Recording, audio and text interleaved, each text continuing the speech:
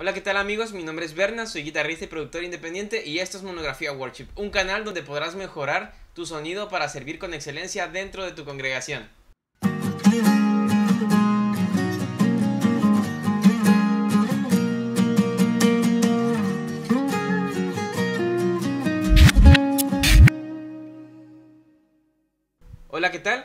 Y bien, vamos a iniciar esta serie de videos hablando de este instrumento que es la guitarra acústica o la electroacústica. Y estaremos viendo algunas formas en las cuales podremos mejorar bastante nuestra calidad de audio. No solamente en cómo sale el audio, sino en cómo lo ejecutamos nosotros. La calidad de audio desde nuestras manos para servir con excelencia. Así que vamos allá.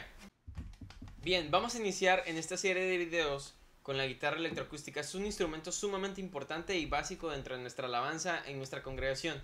Así que si tú eres un guitarrista que toca en su iglesia o donde sea en su banda la guitarra acústica, déjame decirte que es sumamente importante y con estos tips lo que quiero hacer es ayudarte a mejorar tu sonido. Quizá ya lo sepas, quizá no, así que vamos a comenzar.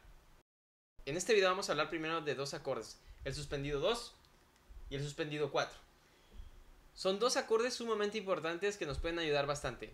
Vamos a utilizarlos dentro de los siguientes grados de acordes. El primer grado, el cuarto grado y el quinto grado. Si tengo una escala de Do mayor, en la escala de Do mayor lo que voy a hacer es identificar qué nota es la primera, la cuarta y la quinta, ¿ok? Entonces, en Do mayor es Do, Re, Mi, Fa, Sol.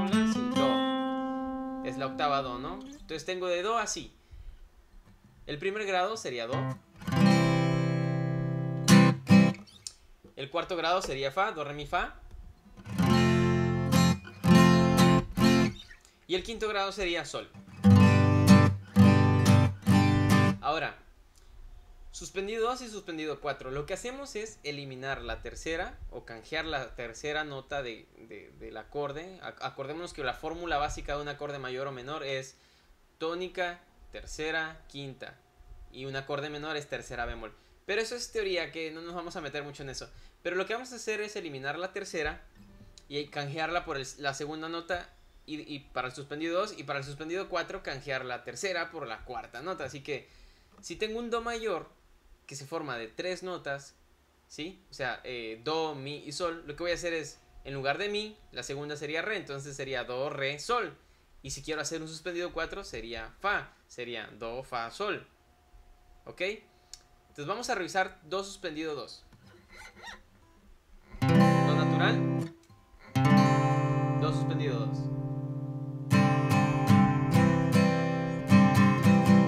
Do natural.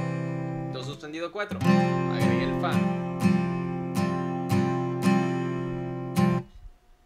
Ahora, el suspendido 2 lo voy a utilizar en la tónica, o en el primer grado, que sería Do. Eh, estamos en Do ahorita, pero aplica para cualquier nota, ¿eh? no es únicamente de aquí, así que Do. Y en el cuarto grado, suspendido 2, que en este caso sería Fa.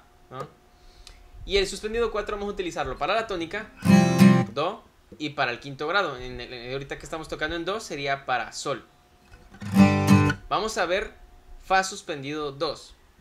Esto es Fa natural. Y esto es Fa suspendido 2. ¿Por qué no toco el bajo? Porque me queda algo incómodo. Pero si tienes un dedo largo, puedes utilizar el bajo acá, ¿no? Y para que te suene algo así. Con tu bajo. Este es Fa suspendido 2. Y ve cómo cambia y cómo hay diferencia. Bien, ya tenemos Do suspendido 2, Fa suspendido 2, ahora Sol. Sol natural. Y esto es Sol suspendido 4. Agregamos la cuarta nota. Sol, La, Si, tercera, cuarta, Do. Entonces agregamos la cuarta. La posición del, del, acorde aquí, en esta posición, sería aquí. Aquí tengo un Si, aquí tengo un Do.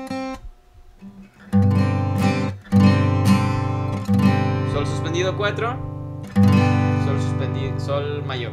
Sol suspendido 4, Sol mayor. Sol suspendido 4, Sol mayor. Eso es tan fácil para cambiar la forma en la que sonamos en cualquier canto. Voy a tocar un círculo simple, simple, simple, y voy a implementarlo. Generalmente el suspendido 4 se utiliza para cerrar el círculo y regresar a la tónica. Eh, no significa que no puedas usarlo intermedios o algo así, pero vamos a hacer un círculo ahorita cerrando con el suspendido 4, utilizando el suspendido 2, tanto en la tónica como en, la, en el cuarto grado. Y ve cómo cambia. Voy a tocar primero natural y luego con los cambios, ¿ok? Vamos allá.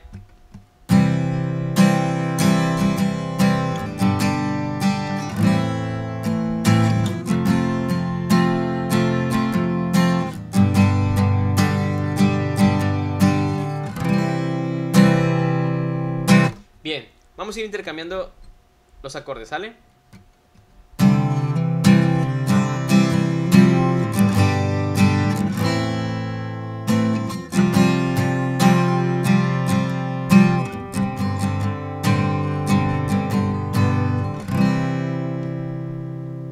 Una vez más.